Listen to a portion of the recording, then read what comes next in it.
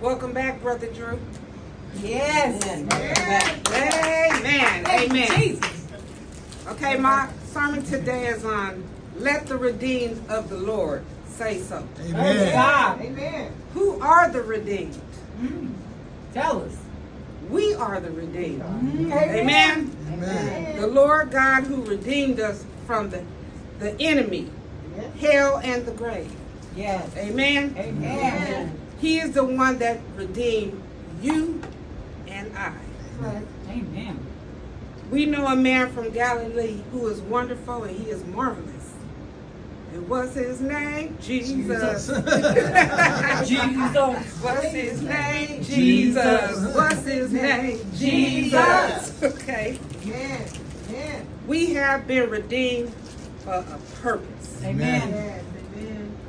We are overcomers by the words of our testimony. And it talks about that in Revelations chapter 12, verse 11. Why are we overcomers?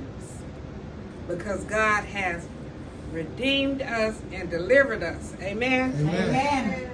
We have been redeemed for a purpose. Amen. Jesus tells us in Matthew 10, chapter 33, do not deny him, or he will not deny you hmm. in front of his Father. Amen. That means whatever your testimony may be, don't be afraid or deny what God has done for you. Praise Amen. Amen. Your testimony belongs to the Lord. You didn't redeem yourself. That's Amen. right. Come on now. God did it. So it belongs to God. Amen. Amen. He redeemed you so that you can go out and tell somebody else how he redeemed you. Amen. right. What he Yeah. done for you.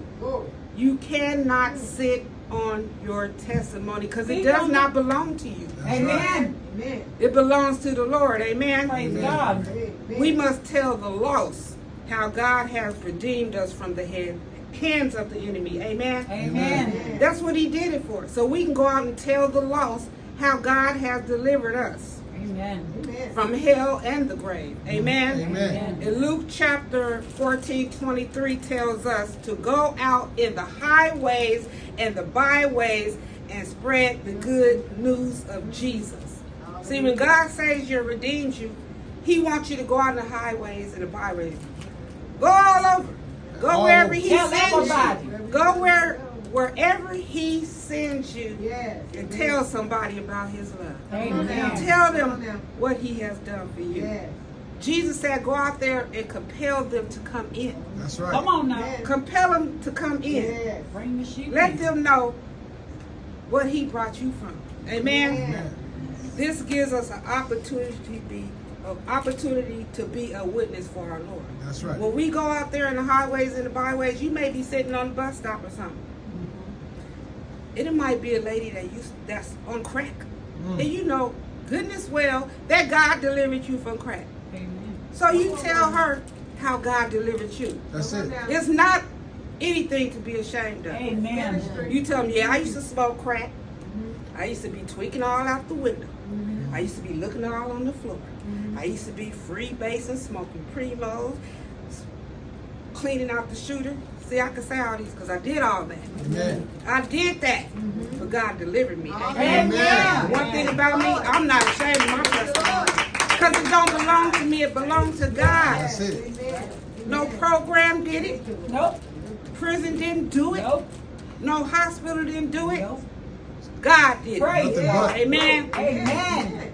God wants us to bring the lost and dying to repentance. Amen. Amen. It all starts with our testimony. Yes.